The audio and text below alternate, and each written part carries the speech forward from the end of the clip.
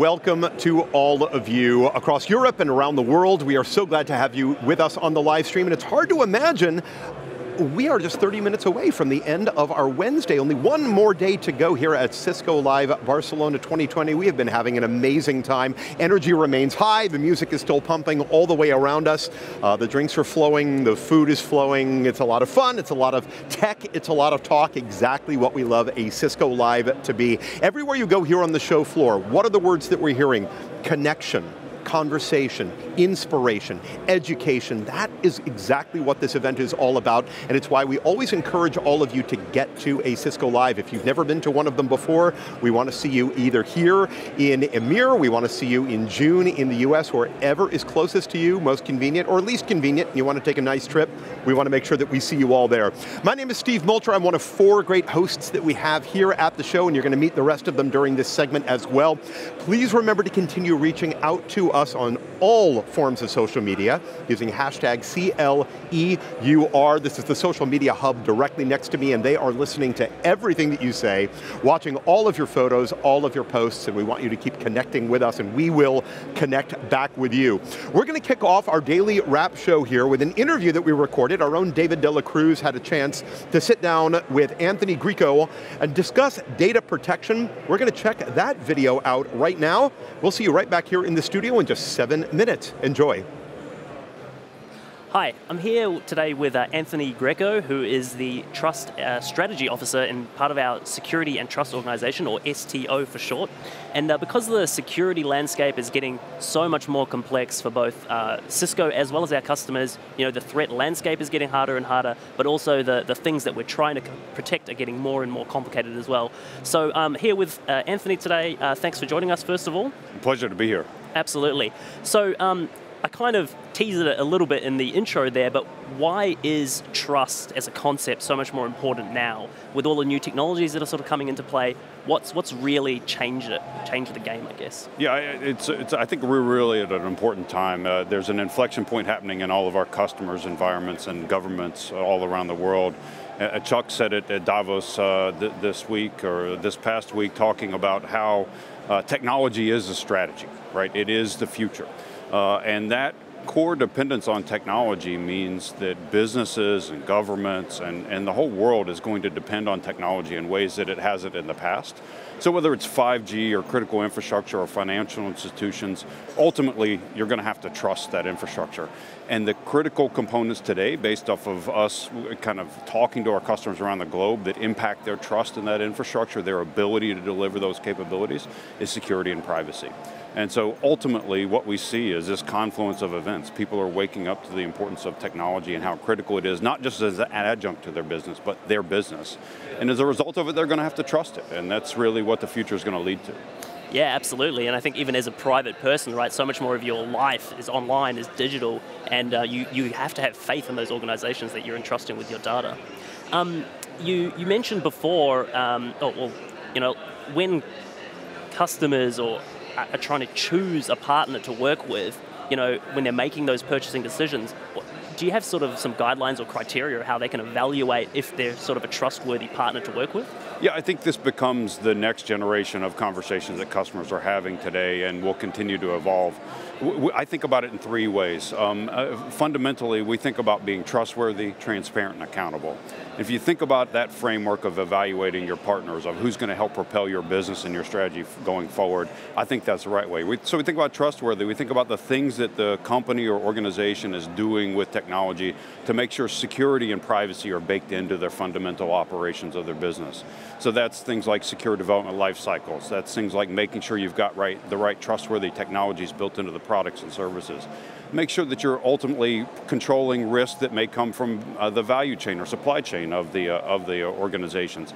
There's a whole suite of things that really are the actions you take to be trustworthy. That's one thing, so trustworthy. The second thing is transparent a, a, lot of what customers want to know and need to know today in order to understand the risk of, of doing business with a company is to really understand what's going on behind the curtain. So they need to understand what the relationships are between, say, customers and governments or technology partners and governments. How do they treat data? How do they treat privacy? How do they uh, otherwise design these things into their business? That transparency in those areas is essential. And the third category is accountability. Uh, that's, you know, in many cases standing up and saying, uh, we, you know, we didn't get it right, here's what we're going to do about it. Uh, you know, oftentimes vulnerabilities show up in that way. And, uh, and, and so we think about accountability as a critical bit of it because none of this is perfect and, and, and we've got to really think about how you're accountable for and improving on this discussion. So really it's those three things, being trustworthy, transparent, and accountable. Absolutely, and I think trustworthy is a great uh, key word to hone in a, lot, a little bit more. Um, we've heard the term Cisco Trustworthy Systems mentioned a few times during the week.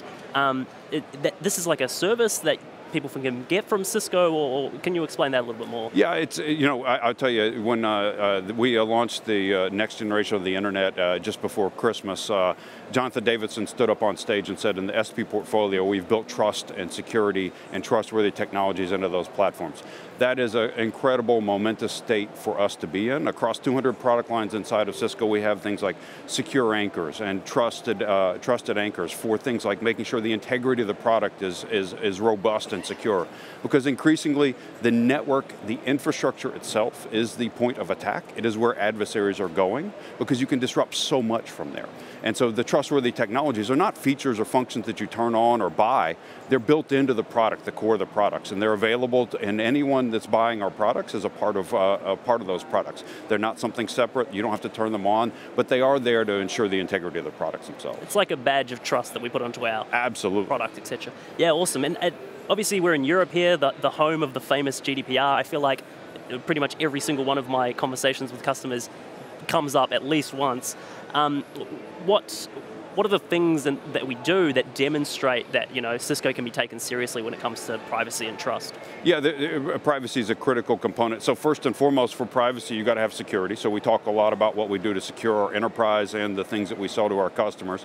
But then on top of those those security components, we we really think and operationalize things like where is the data, how is it protected, who has access to it. All of those fundamental things that sound really easy, but are, are in many cases difficult.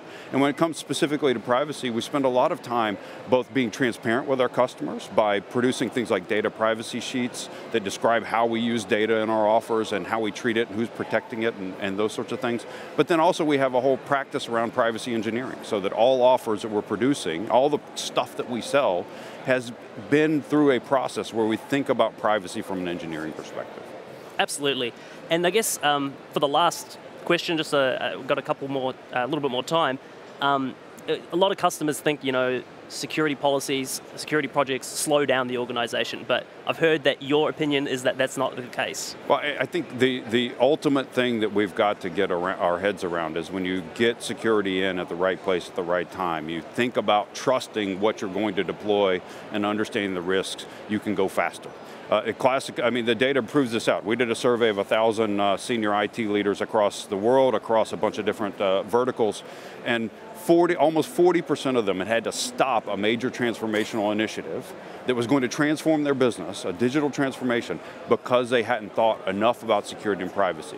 That's slowing down the business. So when you think about security and you trust what you're doing, ultimately because you've thought about security and privacy appropriately, you can go faster. And it's slower indeed if you forget. Absolutely. Well, thank you so much for your insights, Anthony. Um, you heard it here first. Cisco should be your number one partner for security. So um, thanks for joining us, and we're back soon. Another fantastic interview from David de la Cruz, who guess what, is standing directly over here to my right-hand side. I just have to turn my head to the right, and there you are. Well done, uh, David. You've really gotten some, some good information throughout the course of the day, but nice interview there with Anthony, and it sounded like he really was able to sort of take this story and, and, and bring it to the next level in terms of understanding. Absolutely, Steve. And uh, continuing the conversation on data privacy, um, I've actually, well, it's very much current events because uh, just this week, uh, in time for Data Privacy Day, we released the 2020 Data Privacy Benchmark Study. And standing next to me, two gentlemen who are very much involved in the creation and of that report. So uh, I've got Harvey Jang, VP of and Chief Privacy Officer, and Robert Waitman, Data Privacy Director. That's right, isn't it? That's right. Perfect. So um, thanks so much for being on the show, guys. Uh, we've got a couple of questions um, we want to talk about today. Firstly, um, Robert, this is the third year that Cisco has published this report. Uh, this year, what are the, the main insights that we've, we've gained from it? Well, it's been very exciting to take the research that we've done over a three-year period and really be able to culminate it about what is the value of privacy investment for business. We've looked at things like reducing sales delays and better security outcomes, and this year we were able to take responses from over 2,500 um, companies out there and figure out actually what the benefits are. So we've calculated, the first big finding of this is that the return on investment on privacy is 2.7. So for every $100 you spend, the average company spends on privacy, they're getting $270 back. Or 100 euros, you get 270 euros back. We're in Barcelona after all. Yep. So that's a big thing for companies to say, this is a very good investment. One of the best investments they probably can make is in fact in privacy. The second thing we found is that those companies who go a little more beyond the minimum, that are beyond just the compliance, are getting even better benefits. They're getting security benefits of having fewer breaches and less records exfiltrated, and they're getting higher returns when we look back to that ROI. And the third thing we found, which is brand new for us, is the value of certifications. And we're finding that privacy certifications are an important buying factor in the market, and companies that have them are streamlining their process and making it easier to do business with them. Perfect. And uh, shifting to you now, Harvey, um, obviously as Chief Privacy Officer, you're responsible for privacy at Cisco. Right. Um, can you share some use cases of how these insights that you've learned from the report are actually Right. being applied in Cisco? Right, I mean, this report was actually very helpful in validating a lot of the assumptions that we had. We took a major shift. You mentioned GDPR and everyone putting a lot of effort into compliance, but we took a shift to say, look, it's not just about compliance alone.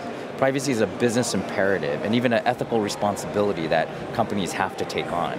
And so being willing and investing beyond the bare minimum to be defensible legally, we decided to go further and mature our program as far as we could. And Robert mentioned certifications and the importance of certifications. What we did was we aligned our privacy program to global standards and frameworks, not just the European ones, but the Asian privacy laws as well, and America's. So totally global because we operate in 170 countries, and there's about 120 different jurisdictions that have privacy laws on the books. So taking these certifications that cover 50 of those jurisdictions, the EU's binding corporate rules, APEC cross-border privacy rule system and privacy recognition for processors, and the EU-US privacy shield. And with those certifications, we're getting validation from the regulators themselves and accountability agents that were authorized by the regulators to look at our program and confirm that we've aligned to their principles and their values in setting up our privacy program. And so using that as demonstrable compliance to show our compliance capabilities has really paid off in the marketplace as it's important, as the studies show, to our customers. Perfect. And one uh, last question, we've only got a little bit more time, is uh, have you got uh, an example, uh, Robert, you mentioned ROI and the benefits that customers can get. Have you got a concrete example of a customer that's been able to benefit from implementing these findings?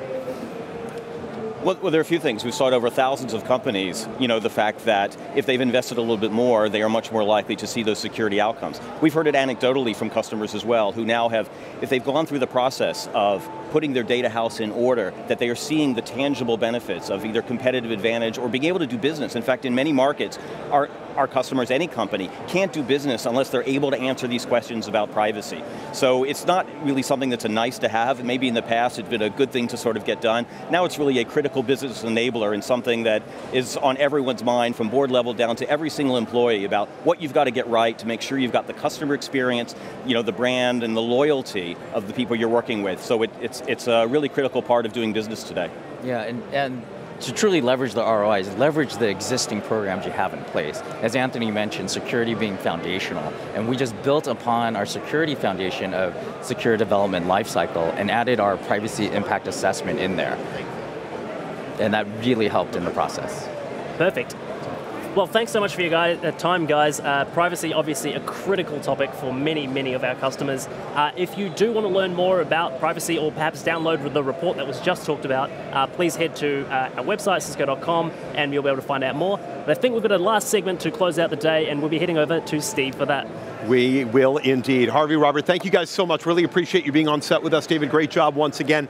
All right, now we get to bring you one of our very favorite segments of our show, something that we call the startup of the day. Cisco is one of the largest VCs, venture capitals out there in the world. Uh, we offer our customers and our partners and a really interesting lens into cutting edge startups and tomorrow's disruptive technologies. Here at the show, we have got eight of the most prominent startups in the industry. They're over in the Cisco Investments Village, and that's where we're going to head to right now with my buddy Zane. Zane, who is our startup of the day? Thanks, Stephen. Look, we have a really interesting t-shirt for you there. Look at that.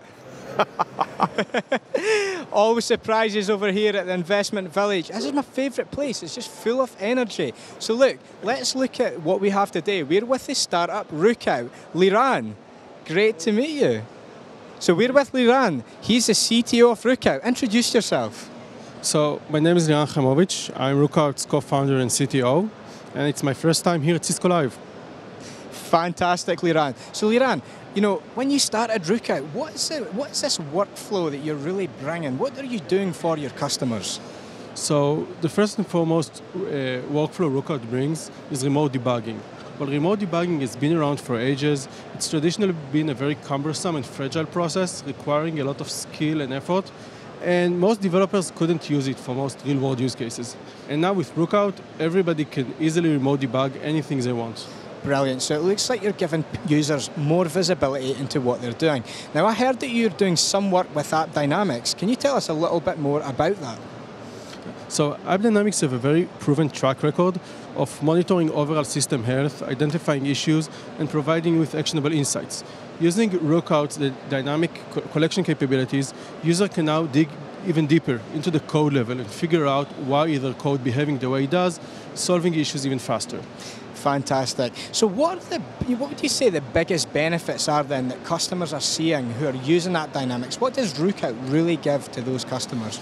So by bringing better observability into running application, Rookout increases developer productivity, reduces developer burnout, and shrinks the time to resolve issues.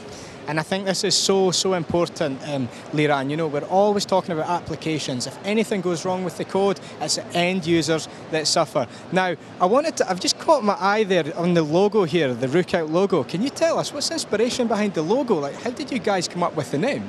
So, Rookout was named after Rook, which is a very clever kind of a crow, which is known for solving puzzles. Rookout is essentially like having a very smart bird inside your application that can easily get you the data you need to solve the riddles you're facing. Our logo is a bird standing on a curly brace, showing our ethos of helping developers with their code. Brilliant. That's a great story, Liran. Great story. So look, is this your first time at Cisco Live? Yes, it is. So tell us, what are you looking forward to this week then, since it's your first time? It's my first time also. Well, it's great being again in Barcelona, and there is an awesome Cisco event, investments party later today that I'm really hoping to go to. Fantastic. Well, we heard them, you know, the party's later on, so everyone get yourself to the investments party. Liran, just to finish up, final question. If people are watching and they think Rookout looks amazing, where can they find out more information about your idea so, and your startup? So just go out to rookout.com and you can either reach out to us or even sign up yourself for free and get started. Fantastic, Liran. Thanks very much for your time, and we're going to throw it back over to the studio. Steve, what do Thank you have for us? Thank you. Thanks so much, Jay. Uh, nicely done out there, my friend. Uh, anybody who hasn't had a chance to check out what's going on in Cisco Investments, look them up. So many cool companies, so much interesting stuff. Speaking of interesting stuff, for everybody who is uh, uh, here at the show, one of the most popular places they always head to is over to the Cisco store. Why? Well, that's where you get all the goodies. That's where you get all the great Cisco branded stuff. Do they ever bring them to me here in the studio? No, they don't, but that's okay. They are right over here to my right hand side, and we want to take all of you on a quick tour of the Cisco store right now. Check it out. I'm going to be back in about two minutes. Hey guys, I'm standing here in front of the Cisco store, which is at the entrance of the hub in Hall 6. We've got a tour set up and they're going to show some of the smart store technology that Cisco has developed with our partners for our customers in the retail industry. If you follow me, we'll go check it out. The Cisco store is where you can come and buy merchandise from Cisco, like water bottles and hats and that sort of thing. But what we're actually uh, showing here today is uh, like a demo of our smart retail solutions. Cisco Vision is our dynamic signage solution, which allows us to change manually any of these signs with the click of an Apple device. DNA Spaces is capturing information of anyone that has a device. So basically, I, I, can tell how many people are around the store, I can tell how long you've dwelled in certain spaces. As a retailer, that allows me to understand more about my customer, and it also allows me to personalize some of the experiences for you. Outside here, you'll see a couple of MV12s. These are our security cameras. I can toggle back and forth to different views inside the store. So you're starting to see how all the technology is connected together. One of the cool things that you can do is use uh, augmented reality through the partnership with Oculus to get inside of the camera and zoom in to your space. The store is outfitted with RFID sensors. If I were to walk out of the store, it will trigger a notification on the associate's device and with Cisco Vision, uh, trigger a notification that help is on the way.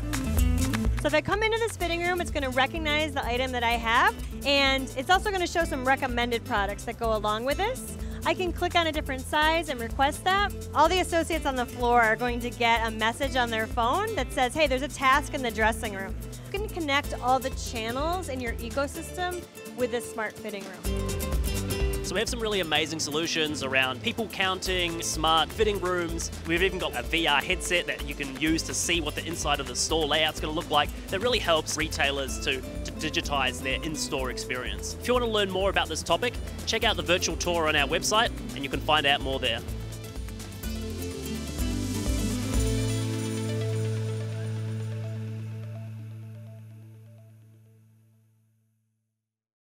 All right, now we're going to turn our attention to another really amazing aspect of Cisco, something that's very near and dear to all of our hearts here within the Cisco organization, and that is corporate social responsibility.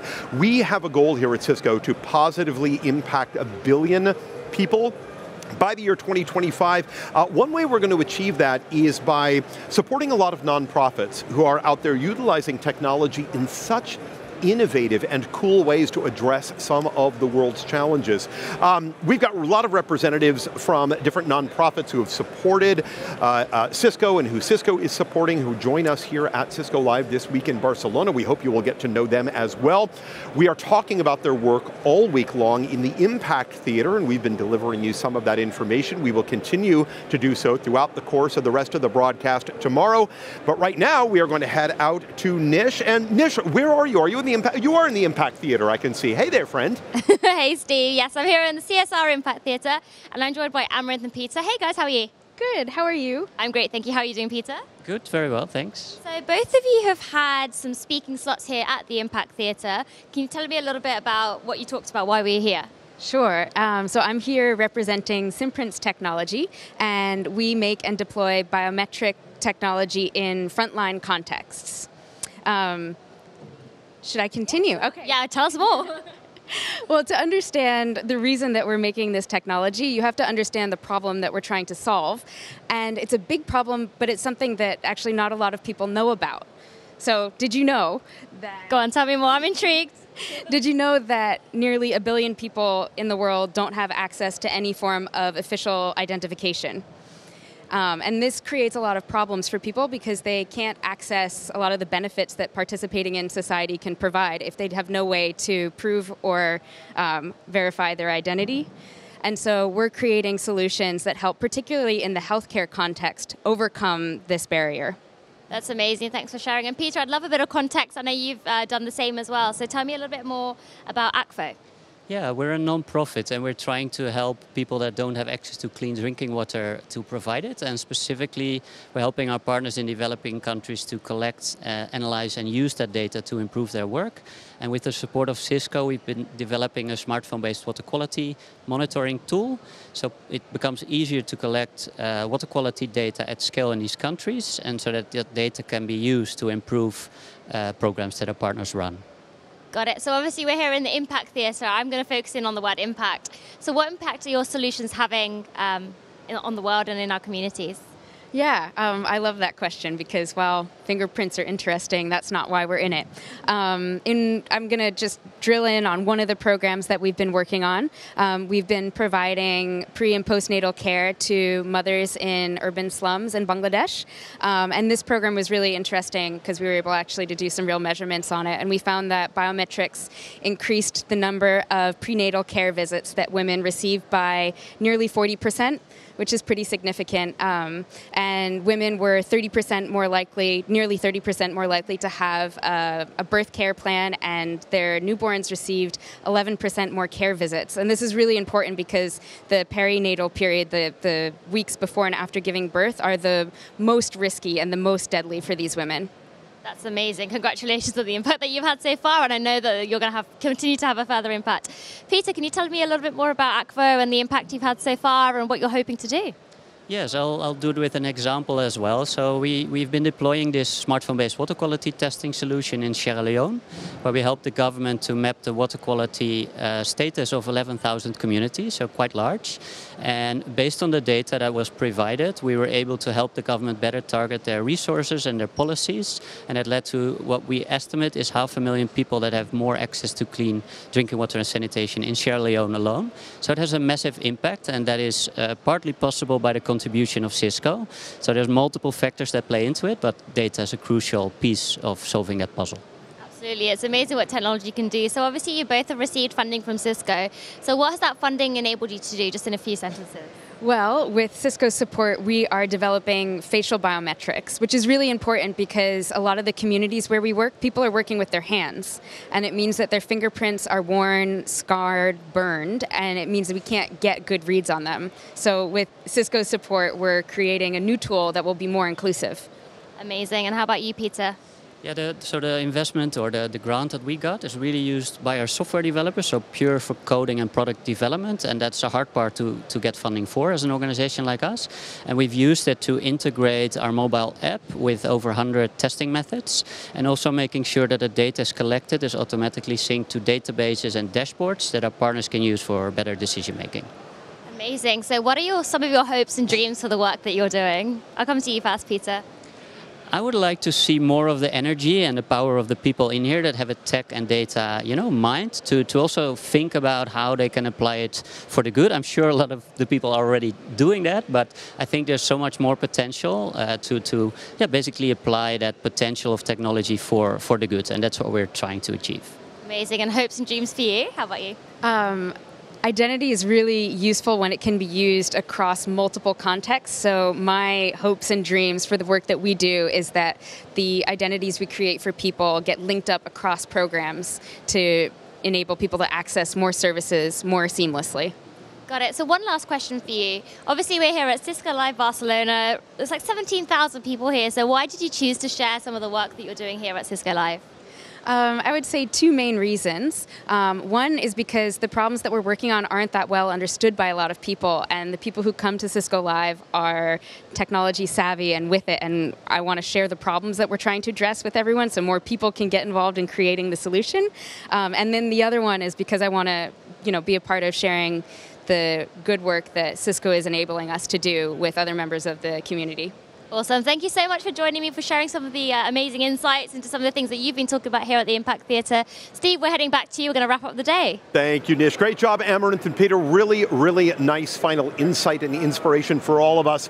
We are at the very end of our show day tomorrow at 12 o'clock. Sandeep Mehra and Ari Barav talking about the workplace transformation, specifically enabling the way users work, making sure that they can work the way they want. Please be with us here on the live broadcast, and remember, continue reaching out to us using that hashtag hashtag CLE. You are on all forms of social media. Remember to continue to tune in to what's happening in our other broadcast, uh, which is over in the Masters series. We want to keep seeing you there as well, but we are grateful to have you on the stream with us. Let everybody know they've got another full day, ciscolive.com. Click on the yellow box and you can stream it live yourself. My name is Steve Multer, and on behalf of myself and my three co-hosts, Nish Parker, David Dela Cruz, Zane Powell, it's been a pleasure. Have a great night, and we will see you tomorrow.